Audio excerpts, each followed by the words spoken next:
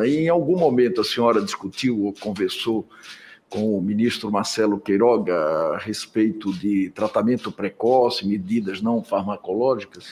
O, o ministro Marcelo Queiroga é um homem da ciência. É, todos nós somos absolutamente a favor de uma terapia precoce que exista. Quando ela não existe, ela não pode se tornar uma política de saúde pública. É, mas a pergunta foi: é, conversou em algum momento? Não, não conversou, isso, discutiu não, sobre esse assunto? Isso, isso nem foi um assunto, senador. Essa é uma discussão delirante, esdrúxula, anacrônica e contraproducente.